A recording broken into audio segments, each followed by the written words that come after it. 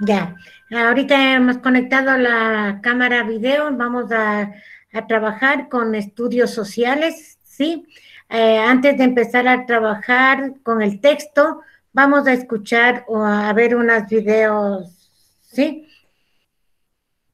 Por favor, atender, me esperan un segundito hasta poner las diapositivas para ir leyendo y para ir analizando.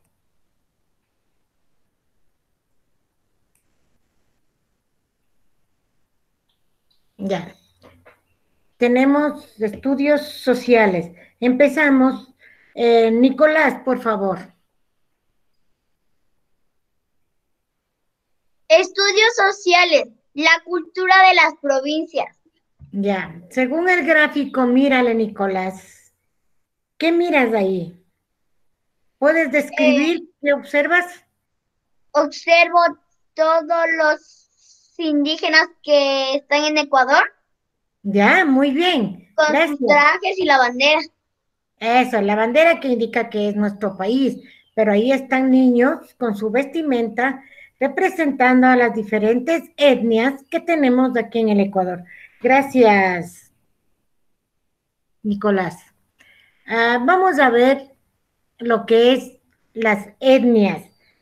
Eh, Diego Burbano, por favor.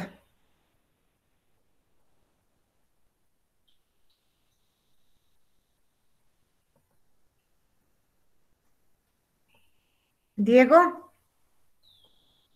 Bueno, continuamos, no está atento. Abigail, por favor. Etnias. En etnia se refiere al conjunto de personas con identidad en cuanto a, rasgos corporales o culturales tales,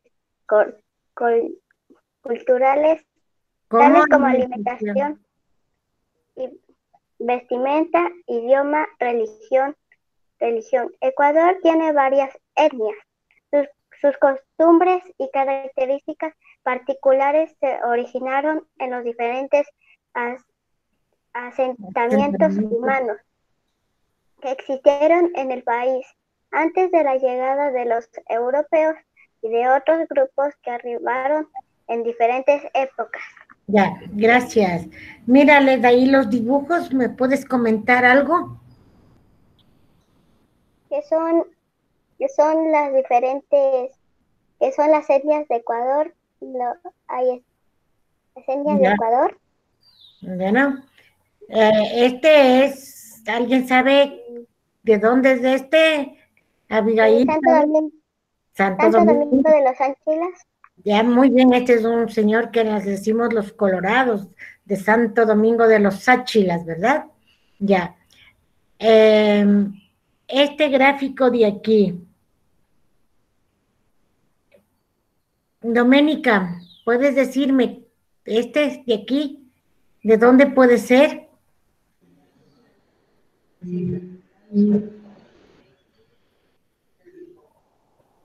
Bueno, yo les ayudo, ¿ya?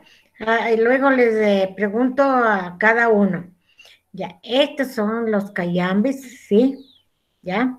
Estos son de Cotopaxi. Lo, ah, en Cotopaxi tenemos algunos como los chibuleos, ¿sí? Acá tenemos, son del oriente, ¿sí? En el oriente tenemos algunos etnias que ya lo vamos a estudiar. Eh, solamente les he puesto las principales que están en el libro, pero sí vamos a enumerar todas las etnias que tenemos en, en nuestro país. Por favor, Doménica, vas a leer. Saraguros, Roja, fueron, fueron traidor, traídos, traídos, traídos por los incas desde Bolívar como parte de su estrategia de expansión. Es uno, uno de los pocos pueblos indígenas que no estuvo sometido, sometido a los españoles, ya que tuvo la posibilidad de convers- Conservar. conservar la propiedad de su tierra. Ya. Eh, aquí tenemos los zaraguros. Estos pertenecen a la sierra, ¿sí? Tenemos grupos étnicos en la costa, sierra y oriente. Entonces vamos a ver solo unos pocos, luego vamos a enumerar. Gracias, Tome. Continuamos, por favor. Maeli. Sí, profe. Otavaleños y Mabura. Antes de que llegaran los incas, los otavaleños tenían ya fama de ser buenos tejedores. Con la llegada de los españoles fueron obligados a trabajar en los obrajes, las fábricas de tela, de telas de ese entonces. Entonces, ya. Eh, ellos eran ya hábiles, ellos eran tejedores, los otavalos, pero cuando vinieron los españoles, hicieron unas fábricas, unos sitios donde habían las, eh, digamos, las máquinas antiguas, las máquinas artesanales, donde hacían el tejido y ellos les llamaban obraje. Gracias, Maeli. Mateo Granja, por favor. Afroecuatorianas, Imbabura, Esmeraldas. Los primeros africanos que llegaron a la provincia de Esmeraldas en, en un barco que naufragó fueron liderados por Alonso de. Illescas, quien condujo a su pueblo y la libertad. A la libertad, ya. Entonces tenemos nosotros los afroecuatorianos, ¿sí? Eh, antes, antes, hace muchos años, les decíamos de raza negra, pero ahora ya no se utiliza esos términos. Ahora son las etnias afroecuatorianos. Hay unos que son de Imbabura, que viven en el Chota, y otros en Esmeraldas, ¿sí? En la costa. Sarita Guerrero. Sí, profe. Por favor, lea. Mon- Montubios, Manabí, Guayas, Los Ríos. Una de sus tradiciones más importantes son los rodeos cuyo origen se rem- A ver, a ver, te. Son los rodeos montubios. remarca ganado. Uno de los... ¿Está ahí, profe? Ya, uno de los concursos, Un- uno de los cu- concursos más populares de estas fiestas es la competencia de lazo. ya.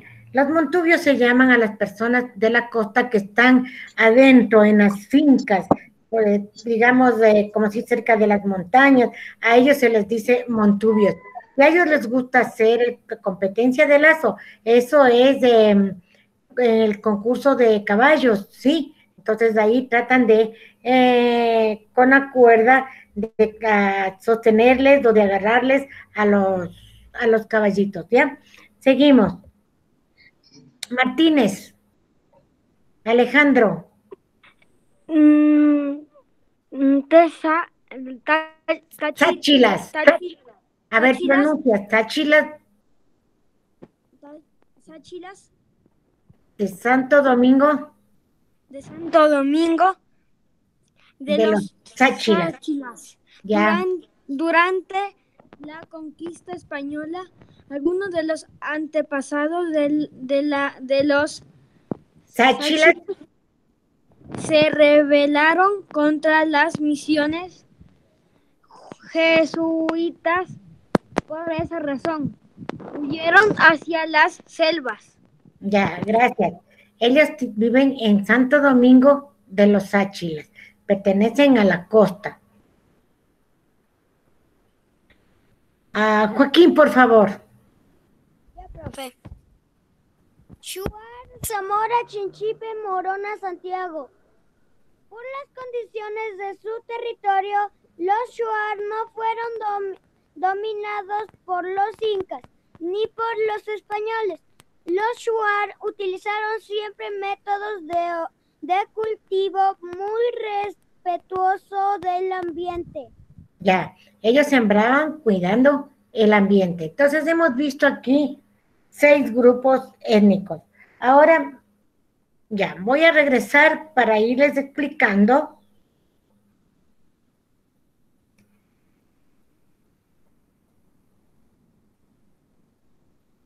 Ya, les voy a ir explicando. En el libro nosotros tenemos, ¿sí? La historia de la gente y hemos visto los zaraguros, afro- ecuatorianos, otavaleños, los sáchilas, los montubios. Pero yo voy a leerles otros grupos más que vivían. En la sierra estaban los caranquis, en Imbabura, los natabuelas de Imbabura, los cayambis es en Pichincha, en Cayambe, los panzaleos es en Cotopaxi, los chibuleos es en- y los salasacas es en Tungurahua. Tenemos los huaracas en Bolivia, en Bolívar, en los puruas tenemos en Chimborazo, los cañaris tenemos en Cañari y Azuay, y los zaraguros que vimos en Loja. Miren que tenemos otros grupos étnicos. ¿Sí? Vamos, a la costa. En la costa también tenemos otros grupos. El agua, los chachis, los afroesmeraldeños, tenemos éperas y los sáchilas en la costa. En el oriente, ¿se acuerda que ya habíamos enumerado? Los guaraníes, secoyas, andoas, cofanes, sionas, záparos. Ahí en el oriente que habíamos visto que las provincias son las más extensas, ¿sí? Las más extensas y son las menos pobladas. Entonces tenemos algunos grupos, ¿sí? Eh, de étnicos aquí en el Ecuador, pero ahorita nosotros no podemos estudiarles de uno en uno porque se nos hace muy larga la clase. Pero les voy a, a dar un dato. Eh, en Galápagos, ahí no hay ningún grupo étnico, sino que ha habido ahí la, la mezcla entre las diferentes regiones del Ecuador, porque fueron gente de aquí del continente, ¿sí? A las islas, ¿se acuerda que se fue- fueron de Loja, de Manabí, de Guayas y algunas provincias y se radicaron ahí en Galápagos y se quedaron a vivir y luego ahí viene la, la- los platos típicos de Galápagos, por lo general, son hechos con pescado, sí, con pescado, con mariscos, ah, bolones de verde, el arroz marinero, utilizan el bacalao, sí. Eso en, en Galápagos. Luego nosotros en la sierra tenemos nosotros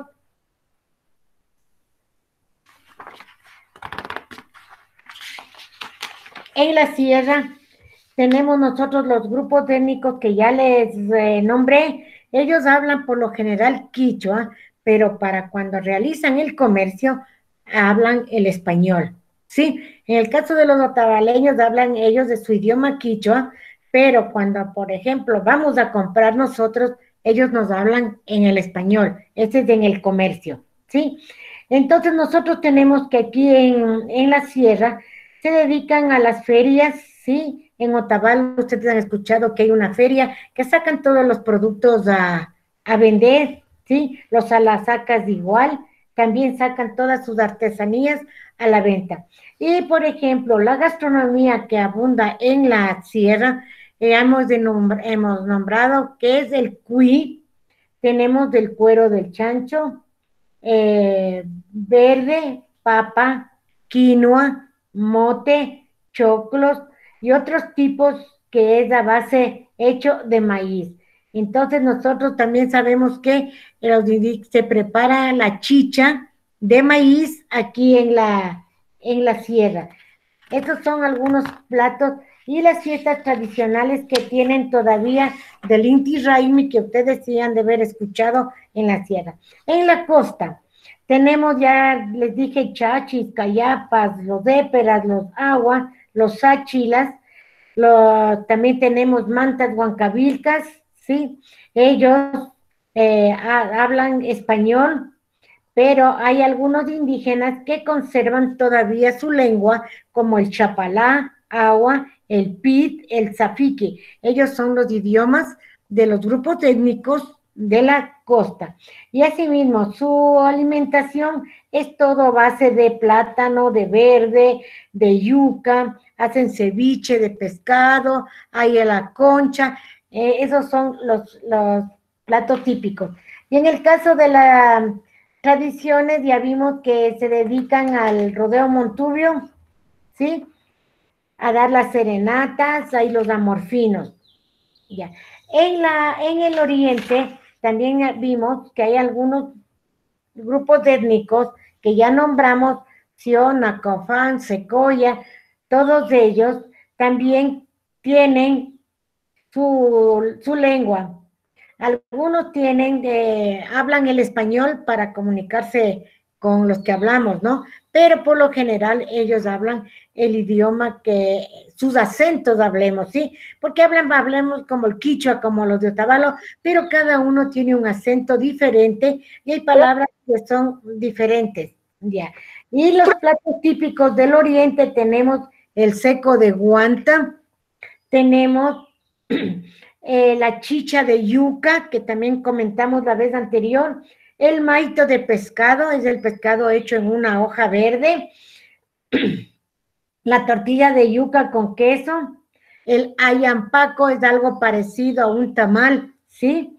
Eh, la trucha, la chicha de chonta, el chontacuro es un gusanito que ahora lo hacen tipo parrilladas, le hacen el chontacuro. Entonces, esos son los platos típicos de, de la Amazonía. Ustedes ven que en todas las regiones, en, todas las regiones, costa, sierra y oriente, tienen sus bailes, tienen sus fiestas, eh, hacen sus fiestas de carnaval. Todas esas son las costumbres y tradiciones de cada uno de esos grupos.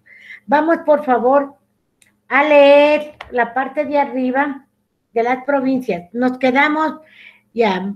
Vamos, Uriel Pérez, la cultura de las provincias. Así practicamos la lectura también, por favor.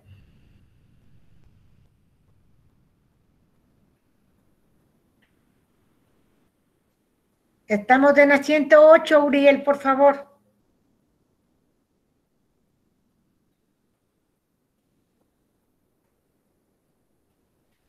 Nicolás, por favor, no distraigas. Por favor, deja de la cultura de las provincias, Leo, Sí, por favor. Ya. La, la población de cada provincia ecuatoriana cuenta con formas particulares de pronunciar, de pronunciar, sí, las palabras. Estas formas se conocen con el nombre de acentos. A más de los acentos, cada grupo humano tiene también expresiones musicales. Ay, ¿qué digo musicales? Leyendas, tradiciones, comidas, vestimentas, fiestas, danzas, etcétera, que lo caracterizan. Ya, entonces en cada provincia tiene todo esto, música, leyendas, comidas, fiestas, en cada provincia, en cada, también en cada grupo étnico. Vamos, Em, Santiago, por favor. Todas estas creaciones forman parte de, la, de su cultura. Aquellas sociedades que comparten una misma cultura de un origen común. Se les conoce como, como nombre de etnias. Ecuador tiene varias etnias. Sus costumbres y sus características particulares se originaron en, los diferentes asentamientos humanos y que existieron en el país antes de la llegada de los europeos y también europeos, y también en otros grupos que arribaron en diferentes épocas. Ya, gracias. Luego viene ya lo que leímos sobre los araguros, afroecuatorianos, eh, otavaleños, sáchilas y los que yo les enumeré de los grupos étnicos. Gracias, Santiago. Eh, Naomi, vamos a leer la primera pregunta. A ver, relaciona las riquezas históricas, arqueológicas y turísticas de Ecuador con la provincia en las que se encuentran. Ya. ¿Se acuerda que nosotros ya vimos sobre las riquezas históricas? Sí, ya vimos en las páginas anteriores, sí, ya vimos en la 106, ahí vimos. ¿Dónde quedan las ruinas de todos los santos? Naomi. Imbabura. En la 106 de esta, lee, por favor. Ruinas arqueológicas. Eh, Azuay. Ya, en Azuay, Cuenca. Gracias, Naomi. Liam.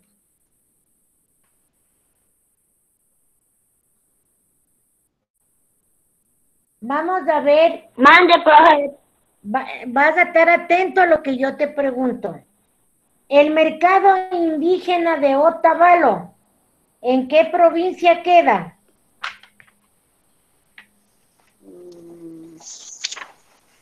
Ya lo vimos. Te ayudo. En Imbabura. Ya vayan uniendo. Imbabura. A ver, van, van uniendo. Las ruinas de todos los santos es en Azuay. Eso dijo Naomi. Vamos. Nos saltamos uno. La isla de la Plata. Es una isla que queda al frente de las costas de Manabí.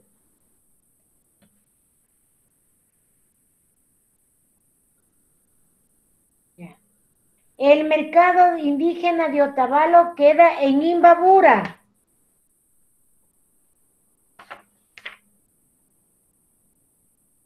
Ya. Tenemos otra, la mitad del mundo. ¿Dónde queda? ¿En qué provincia? En la nuestra. Pichincha. Eso, exactamente, Pichincha. Y tenemos las ruinas de Cojitambo. ¿Alguien me- Encañar, encañar. Gracias. En Cañar.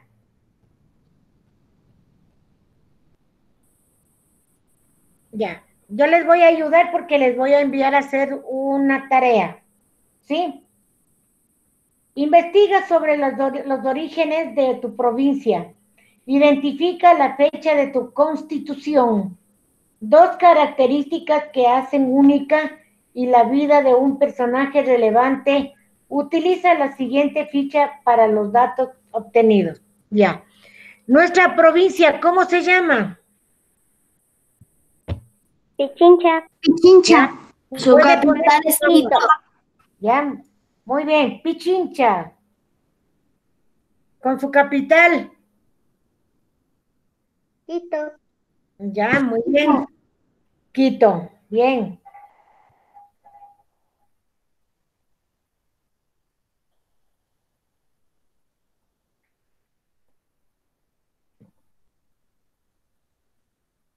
Ya. Ahora les ayudo. Eh, fecha de fundación. Escriba. El 25 de junio. El 25 de junio de 1824. El 25 de junio de 1824. Profe, ¿junio o julio? Junio con N, junio.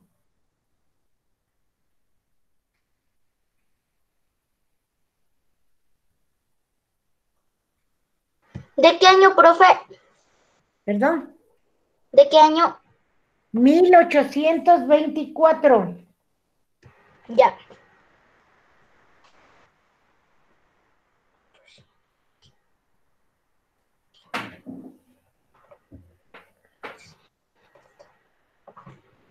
¿En cuál año, profe? 1824.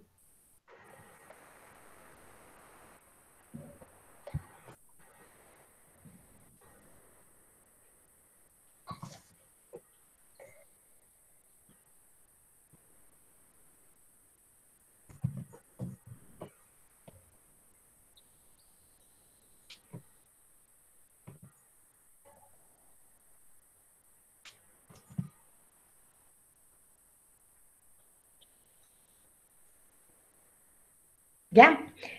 Ahora, es importante. ya, ahora dice características, ¿no es cierto? Vamos a poner las características eh, de la provincia. Nosotros en nuestra provincia, ¿sí? Tenemos unos, unos valles hermosos, llanuras, tenemos elevaciones, ¿sí? Tenemos este, que hacen un lugar muy privilegiado para poder nosotros Profe dice personaje, no lugar. estamos en características. Profe, yo puse en características la mitad del mundo. No, espérame un ratito. Profe, yo puse en características hermoso y de patria. No, yo no, estamos haciendo juntos ahorita. Por favor. Profe, usted dijo valles hermosos. Pero estoy diciendo, estoy recién explicándole. Si usted se adelanta en copiar, déjeme terminar. Dijo. Ya, entonces en características, yo les dije que su territorio era muy variado. Cuenta con valles, montañas, llanuras, que hacen un lugar muy particular, muy privilegiado. La actividad económica en la, es la agricultura. Hay un desarrollo importante industrial y tenemos evidencias arqueológicas. Eso viene en características. Sí, entonces yo estaba explicándoles para que puedan poner las características. Son letra pequeña para que les pueda alcanzar. Profe, repita, repita. ¿Puede repetir, profe? Es que A ver. edita muy rápido. Por eso yo les decía calmados para poder escribir bien. Ya. Su territorio es muy variado porque tiene montañas, valles, llanuras.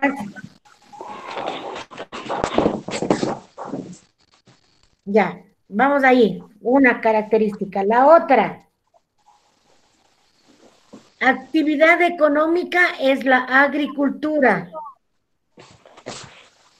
Profe, el personaje es importante. Un ratito, mi amor, estamos terminando las características. Ya acabé. Entonces, eh, por favor, espera un momentito. Ok. Eh, tenemos la agricultura, la actividad económica, la agricultura. Otra característica, tenemos evidencias arqueológicas. ¿Se acuerda que leímos la, la de Cotocollao? Sí, que esto está aquí en Pichincha, ¿sí? Las ruinas de Rumicucha también tenemos aquí en Pichincha. Ahora sí vamos los personajes importantes en Quito. Hay muchos personajes importantes, de todo, ¿sí? De comedia, tenemos de deportes, tenemos de- desde la desde la época colonial tenemos muchos personajes importantes. Les voy a enumerar algunos, ¿sí? Solo escuche primero y luego para escribir. Solo escuche. Tenemos desde Atahualpa, Eugenio Espejo, Manuela Sáenz, Federico González Suárez, Dolores de Ventimilla, Humberto Fierro, tenemos Deloy Alfaro, el Monseñor Leonidas Proaño, Osvaldo Guayasamín, Matilde Hidalgo Procel, en deporte de, eh, eh, por ejemplo, teníamos de un personaje importante, Evaristo. Entonces, hay un número muy grande de personajes importantes. Ahora escriba que le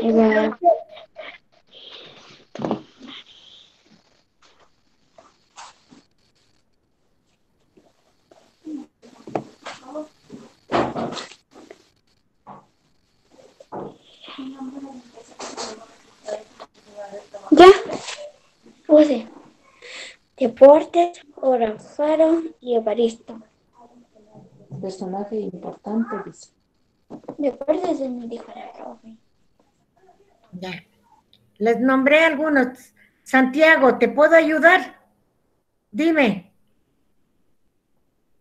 Ah, profe, ¿me puede decir otro más? Por favor. ¿Cuál escribiste? Ah, solo puse Eloy Alfaro y antes escribí el presidente Lenín Moreno y, y el alcalde Jorge Yunda.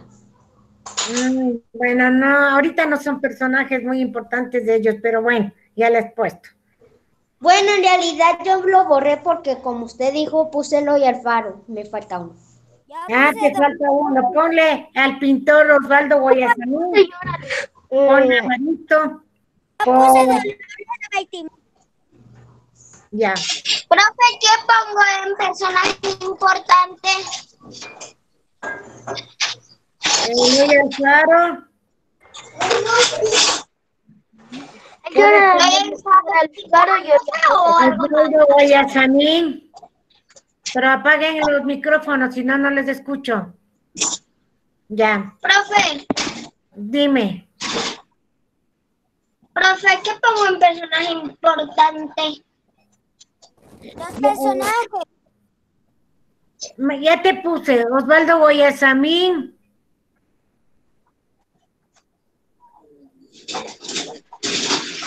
Eugenio Espejo, puedes poner eh, em, Manuela Sáenz.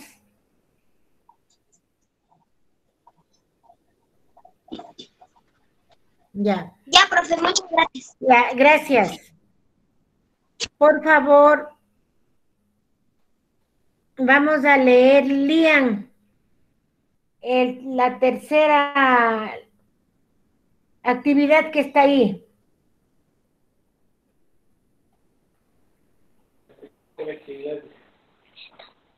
Organice grupos de trabajo, seleccionen una ruina arqueológica o un monumento histórico eh, y el- elaboren un modelo del mismo. Utilicen papel mache, masa de A ver, sigue, sigue, sigue. Machel, masa, masa de sal, plastilina, etcétera. Coloquen su trabajo sobre una pieza de cartón o o de madera.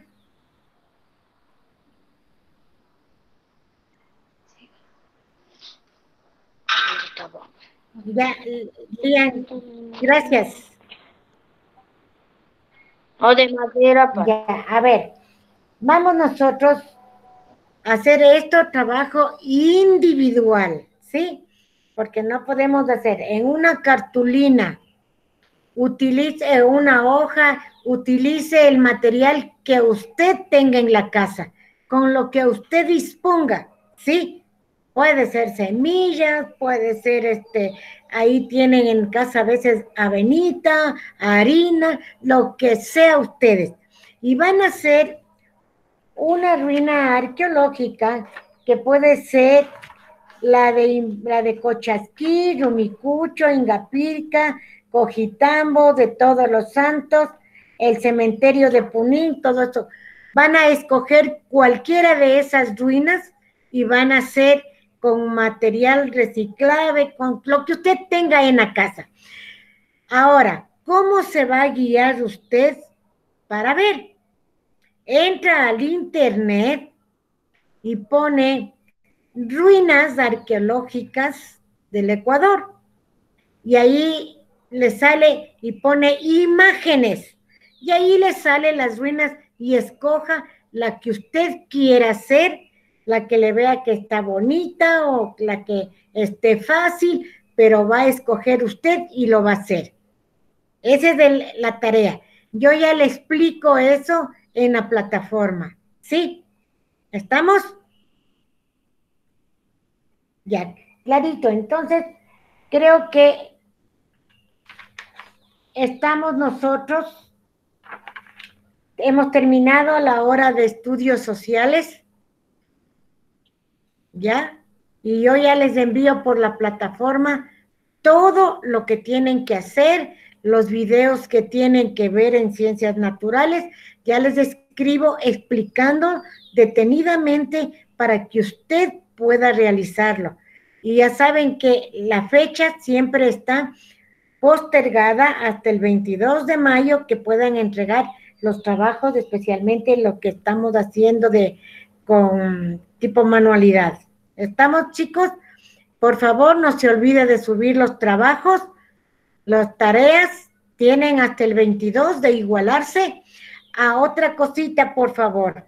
El día viernes voy a enviarles una lectura de Lectopolis y eh, por favor mirar a los que les falta y puedan completar, porque a algunos les falta una, dos, a otros tres, a otros cuatro lecturas.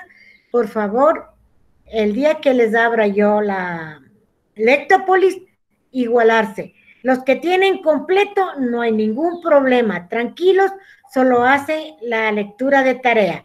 Pero a los que yo les indique, hacer la lectura. Eh, profe. Dígame. Profe. Profe. A ver, una uno. Por favor, a ver, vamos contigo. Uriel. Ya. Profe, yo vi, yo, yo cuando intenté hacer los dos deberes de Lectópolis que usted mandó hace, hace full tiempo, como hace una semana intenté hacer eso y solo me salía la, lectura, no pude responder porque solo me salió la lectura. Ya, le, estoy diciendo, mi amor, que les voy a abrir, ¿sí? Les voy a abrir el día viernes tarde, les voy a dar plazo hasta el domingo les voy a dejar abierto para que ustedes puedan igualarse. Ya, van a hacer todas las lecturas. Igualarse.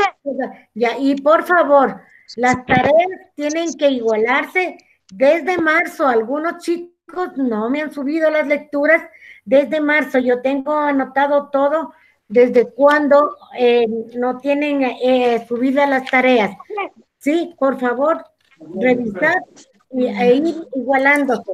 Del cuarto bloque, me deben algunas tareas desde el cuarto bloque. Ahorita ya estamos en el bloque quinto. Bueno, chicos, una buena tarde y nos vemos el día de mañana. profe. A ver. Chao, profe. A ver, alguien me pregunta